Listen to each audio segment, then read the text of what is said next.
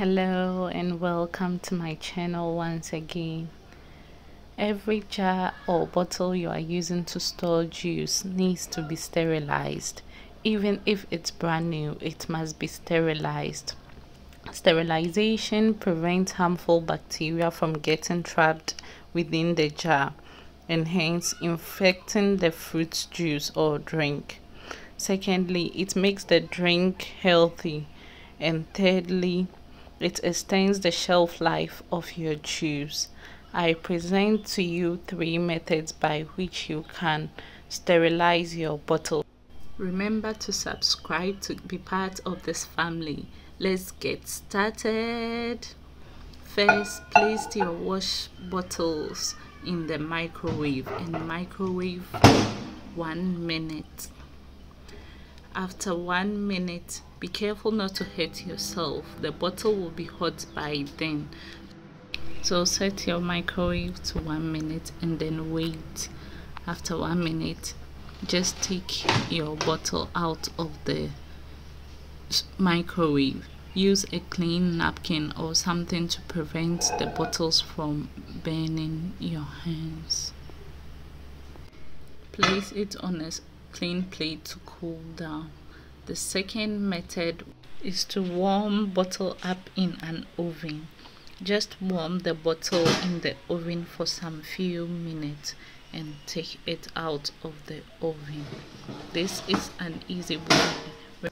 Remember not to set the oven at a temperature higher than 180 degrees. One minute or two minutes will be okay for this. The third method is the boiling method. Firstly, place a saucepan with water on fire and then place your bottle as well as the lid into the saucepan containing water. Then leave it to boil for some few minutes. It has already started heating so we just leave it this way in the water for some time within some few minutes it will start boiling. When it starts boiling leave it for one to two minutes then switch the flame off and then let it continue to sit in the hot water. After that I used a plate and lined it up with a tissue to absorb the water and I played something that can help me drain the water in the bottle with ease.